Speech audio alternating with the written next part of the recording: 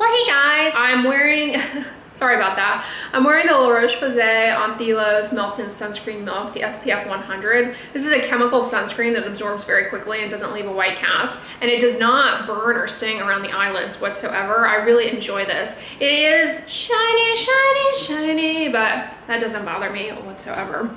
Um, speaking of sunscreen, many of you have asked what my opinion is on the uh, rather unconventional approach that Gwyneth Paltrow took to applying sunscreen in her I guess, skincare routine that she did with Vogue. Um, I recall she said, um, and I, I'm not, you know, I'm not a sort of head to toe slather of sunscreen, but quote, I'm not a head to toe sunscreen slatherer.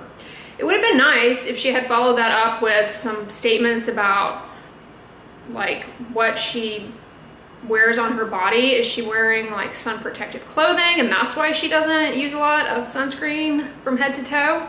Uh, you know, clothing is an option uh, if you don't want to wear sunscreen on the body. Long sleeves, long pants, high necked things, uh, that really can actually protect you quite well. In fact, probably better than sunscreen in the sense that it's not gonna rub off unless you are apt to just like randomly take your clothes off outdoors.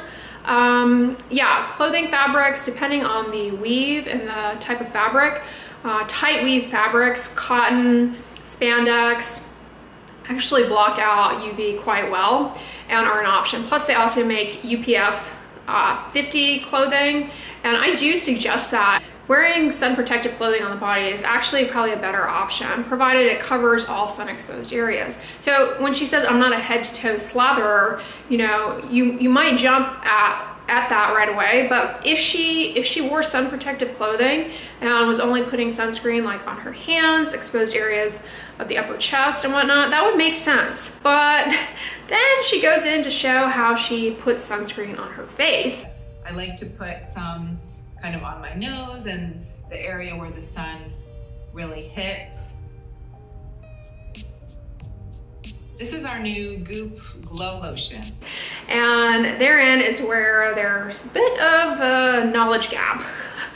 she puts it on, she, she was like, I just like to put it on the most sun exposed areas, the areas of the face where the sun hits the most.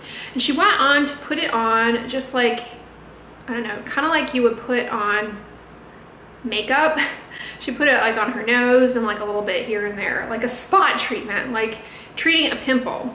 That is problematic. The face uh, and neck area and the ears, they are going to see a lot of UV exposure. You don't want to just selectively apply sunscreen to certain areas of the face because um, the you know you can't just stay fixed in one position and assume that the sun is only going to hit on those positions you're turning your face around even if you wear a broad brimmed hat which you should by the way a broad brimmed hat does provide a lot of, of protection um, especially like the nose where a lot of sun hits, the forehead. It really can offer a lot of protection. You should wear a broad brim hat. It can offer a lot of protection. That might be something that she does. I didn't, she didn't share with us. Um, anyways, but even if you wear the broad brimmed hat, what ends up, what, what happens is that sun is actually reflected off of surfaces like uh, the ground, cars, and it does end up hitting these areas of the face where you may not realize that you are getting UV exposure. So yeah, you don't want to selectively apply sunscreen to just certain areas of the face. You want to make sure that you apply it to all areas. And unfortunately, the majority of people uh, under apply sunscreen as is. So her message is problematic in that the idea that you don't need very much, we're already struggling to educate people on the fact that they need to apply more. And her video suggesting that you only need a little bit here and there is, is problematic because skin cancers around the eyelids, um, the ears, around the mouth, really common. I mean, all over the face. Skin cancers are really common. Not to mention, I mean, kind of presumably the reason most people are, are motivated to wear sunscreen is not only the skin cancer prevention piece, but also the aesthetic piece.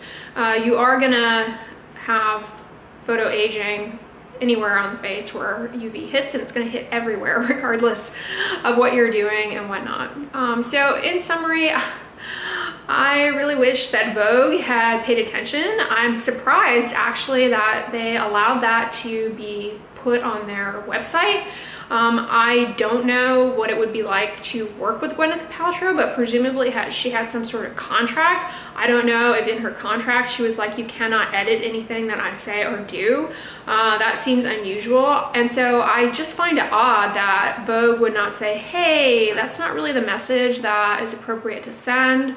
Why don't we just clip that out or something? I, yeah, I, I think that's that's equally problematic that Vogue did not intervene and edit that out. I think she was promoting an SPF 30 sunscreen, uns was it uns what, what was it? Un, Unsun, Unsun. Is sunscreen. This is a clean mineral sunscreen brand called Unsun. There's no such thing as dirty sunscreen. Uh, however, I feel so horrible for this Unsun sunscreen because I'm pretty sure their sales are going to plummet. I'm not familiar with it, but SPF 30 mineral sunscreen. Mineral sunscreens tend to be less irritating than chemical sunscreens, although that's not always the case. But if you are looking for a sunscreen that's less likely to cause irritation, you could choose mineral. However, that doesn't make chemical dirty or bad or dangerous or harmful. It's a 30 SPF. You know, there are a lot of really harsh chemicals in conventional sunscreens.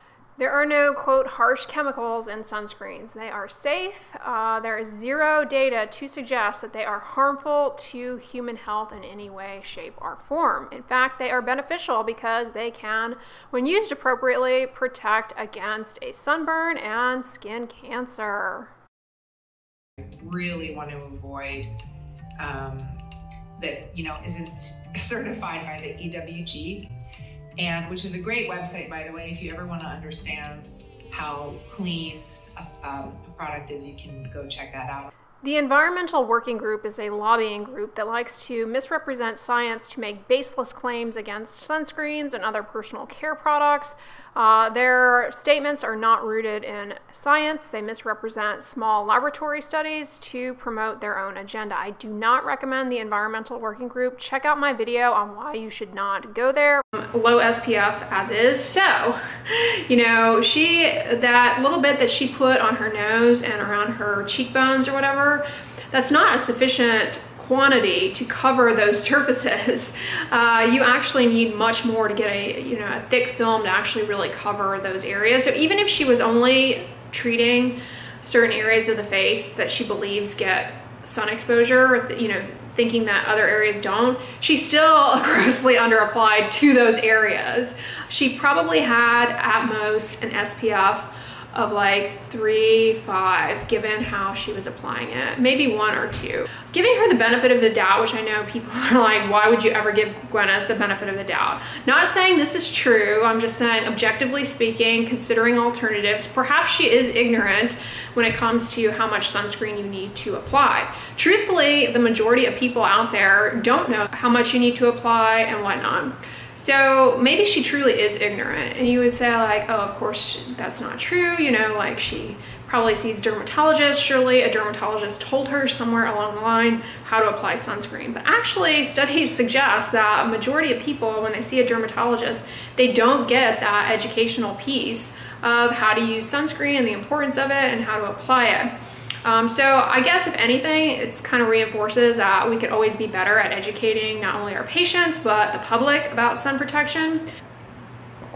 So yeah, I mean, I don't know. Maybe, maybe she truly didn't know, but Vogue should know and they should have edited that out. Someone, you know, could have could have educated her. The other option, the other likely thing is that she doesn't believe in sunscreen and doesn't actually wear it. And that little bit that she put on was solely for the purpose of promoting a product to sell to the audience. Um, a lot of people are sunscreen averse. They believe that it's harmful, that it's got toxic chemicals in it, that it's an endocrine disruptor, or that it causes vitamin D deficiency. And none of these things are true. They're just um, myths that are perpetuated by certain, yeah, these are ideas that certain groups perpetuate, like the clean green movement. It's very harmful, actually. The biggest risk of wearing sunscreen, there, there are several risks, actually. One, you can develop a contact dermatitis to it. That happens. People either find them irritating or they actually develop an allergy, albeit rarely, to an ingredient. Many people think they're allergic to sunscreen, but it's not a true allergy, it's just an irritant reaction. So that can happen. The other problem with sunscreen that can arise and is you know, a true, true risk is that you end up staying outside too long and getting too much sun exposure because you believe that you are protected. This is akin to, this is kind of akin to wearing a flame retardant vest and then jumping headfirst into a bonfire. Probably not the best idea. Sunscreen is just one piece of the protective aspect, but a lot of people fail to realize that they need to do more things like wear sun protective clothing, reapply it, not stay out too long. And so they inadvertently because they are under the false belief that they are safe, they end up staying out too long and getting actually too much UV exposure as a result of simply applying the sunscreen. So that is another risk. But sunscreen is safe, it's not an endocrine disruptor, you know, there's no there's no data to show that applying sunscreen results in endocrinologic problems or any kind of cancer. It actually is chemo preventative. It can reduce the burden of skin cancers.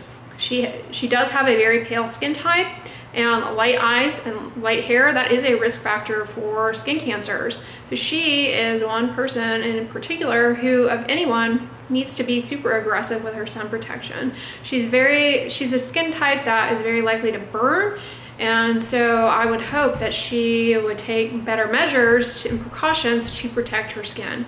The other possibility is that she believes that sunscreen blocks vitamin D. It does not. That has been shown. So yeah. Wish she had done better. I wish Vogue had done better.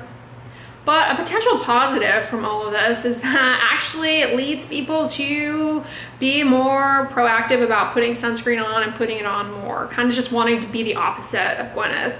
I have come to uh, see that she is not well liked in, you know, amongst the public. People don't care for her and I, you know, teach their own as far as their opinion. I don't really keep up with her or anything like that, but people don't care for her probably because of some of her potentially dangerous messages that she has put out there in the past. And I do think that people have a lot of mistrust for anything that comes out of her mouth. So if anything, her showing people, hey, this is how I do it, maybe people will do the opposite uh, and will, will uh, you know, be more conscientious with their sunscreen usage. Update on the coffee that I tried out last weekend. I'm still loving it. This is from Austin, the Greater Goods coffee. I'm really loving it. The cherry does come through. Well, hey guys, I am on my way out to run errands. It's another beautiful day, enjoying the spring weather that we're having. And knock on whatever cars are made out of in the interior. I, uh, I'm not having allergies that are too, too bad. A little bit, but not bad. This is a time where there's a lot of pollen. I tend to be a little sneezy, sniffly.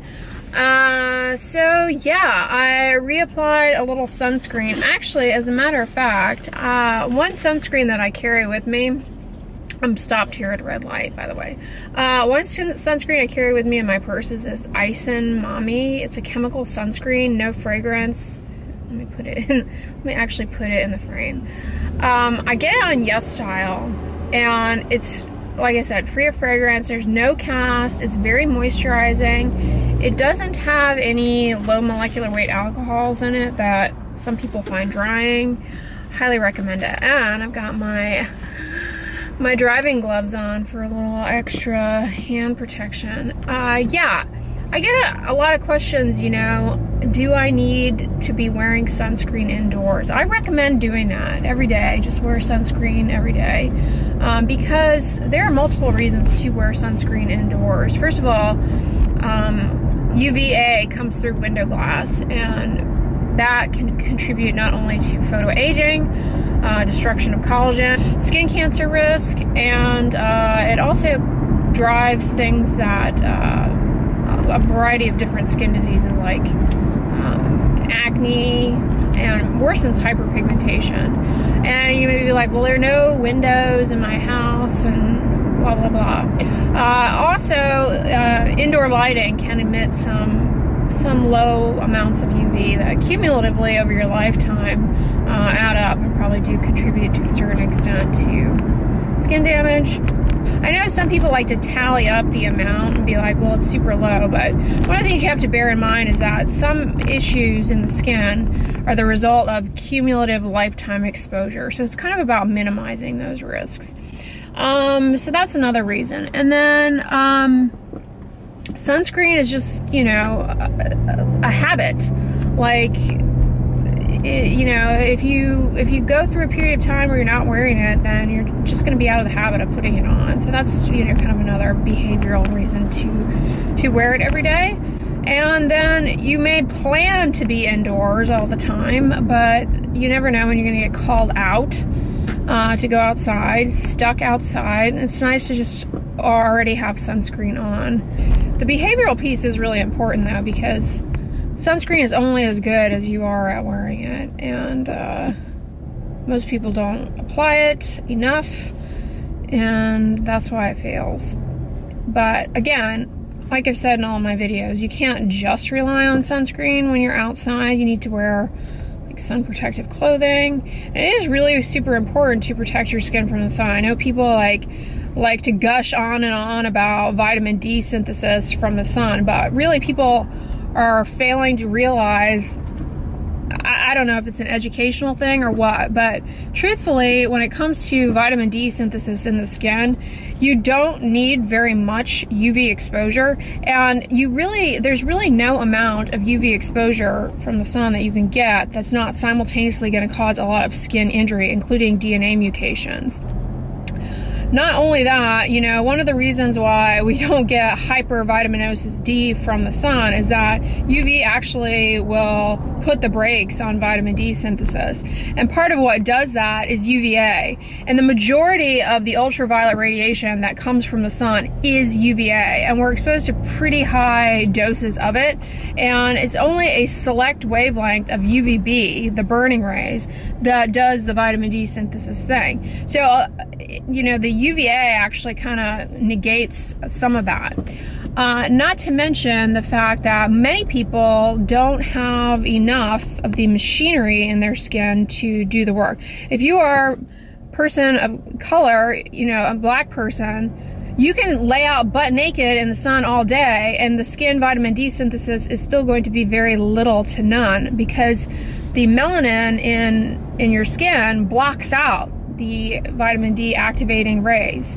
Um, so laying out in the sun just exposes you to more UVA, the seriously damaging rays. It doesn't do, you know, you're not getting, you're not going to get vitamin D. People who are older, their skin, with age, we, you know, the skin becomes thinner, um, the, the, the top layer of the skin becomes thinner, and we don't have as much, uh, very little of that vitamin D synthesis machinery. Um, and the other thing people comment on is that, well, wearing sunscreen doesn't that get in the way of vitamin D synthesis? It doesn't. And truthfully, sunscreens that have good UVA protection, like it, it appears, actually help your skin with the vitamin D synthesis uh, better, you know, help your skin make vitamin D better. Because, as I said, the UVA, which is the majority of what comes from the sun, is UVA. is very, you know, a, sm a, small proportion of ultraviolet radiation is actually UVB, and of that, only a tiny, tiny fraction is is the wavelength that is necessary for for uh, vitamin D synthesis. So, I mean, if you look in the grand scheme of things, it's like putting it's like getting a bowl of sugar and putting putting a blueberry inside of it and being like, I need to I need to eat this whole bowl of sugar to get some antioxidants. And you're like, uh, a blueberry is like a minuscule fraction of this. Same same principle with ultraviolet radiation um, from the sun. You can get vitamin D from your diet um, and from supplements.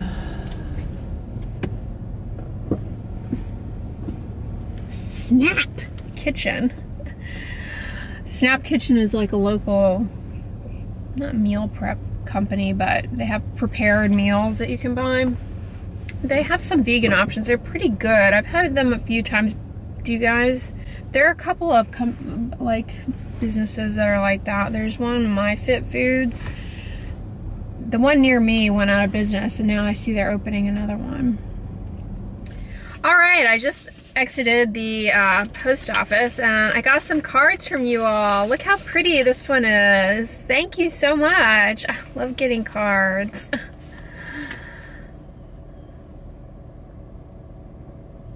That's awesome. Thank you so much. And we got one all the way from Australia. Oh, it's Easter.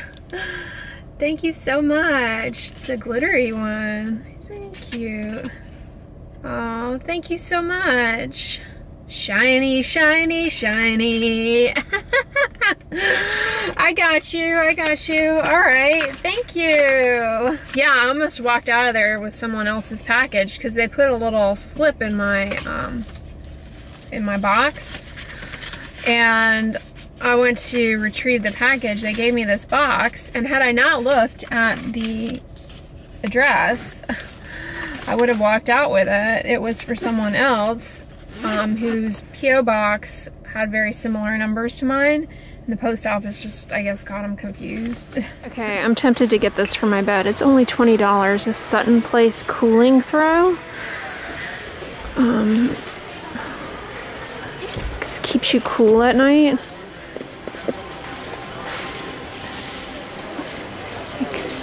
Not even a foot in the door and I'm already, I'm already tempted. Well, hey guys, I just got out of the shower. Uh, and does anyone else wear Christmas PJs like year round?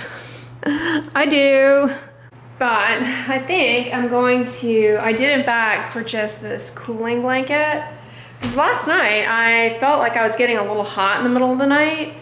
Um, and I ended up kicking off my blankets and I'm thinking that this is gonna be really good here in the summer. I always go back and forth in the summertime with my blankets because I get hot at night, but then with the air conditioning, if you don't have a blanket on or you know too few blankets, then it gets it gets cold. I also got a um, three pack of the 32 degree black teas. These are my favorite, the 32 degree um, t-shirts. Speaking of good for hot weather, they are perfect. Like they don't, they're breathable. They're they're kind of cooling. Like they live up to the name, 32 degree cool. They keep you cool. Um, and I just think they're really flattering. And so they were back in stock. I got a pack of those. Oh, Speaking of Costco, let me show you guys, remember last week I got that under the sink organizer thing? Well today I finally set it up. takes me a while to do things. I'll show you guys how it came out. All right, it looks so much better. I should have filmed it before, but I, I didn't. Um, uh, here it is, and you had to assemble it. It's relatively sturdy, um, and I like that it's got that handle. It's pretty sturdy and it was easy to assemble. It's got this little like thing that you can pop off, little container. And then this divider you can adjust. See, you can put it there or there so you can kind of adjust how things go. But I just have some disinfecting wipes, some replenishments of hand soap, uh, garbage bags, my Dawn Power Wash dish spray. I have to say, I am, I have come to love this. It does a really good job cleaning the sink at least. I've got some dishwashing liquid there and I have these, I also have these cookware, I also have these cookware and bakeware cleaner pods, my dis garbage disposal cleaning pods. Yeah, just a little, this is, this is to run through your washing machine and to clean it. And then this is one to run through your dishwasher. I kind of want to try that sometime. I bought it impulsively and haven't used it. I store my dishwashing pods in this container. I got it at Kroger. It's kind of like for, it's for, I think like cereal or grains or something. Um, but uh, yeah, it's by this brand Snapware. And then I've just got some white vinegar. I always use reusable grocery bags, but with the curbside pickup I've got a few times, they do the plastic bags, so I've just saved them and I stuffed them in an old uh, trash can under there. And then I've got some I've got some paper towels. This little thing is for my um, steam mop to pour the distilled water into the steam mop. I keep it under there. Oops. So yeah, I'm pretty happy with that. Looks much better. Fire, fire extinguisher there. yeah, I'm pretty happy with how that came out. Uh, it's nice to have it picked up. I need to set up the uh, those little stacking trays that I got. Next, I need to set up these uh, shelf organizers that I bought too inside my cabinets, but I'm not gonna do that right now. I am, I'm gonna wrap up the vlog here uh, and uh, relax a little while. Thank you guys for coming along with me to Costco. I'm gonna wrap it up as the wrap queen. And if you like this video, give it a thumbs up, share it with your friends, and as always, don't forget, sunscreen and subscribe. I'll talk to you guys tomorrow. Bye.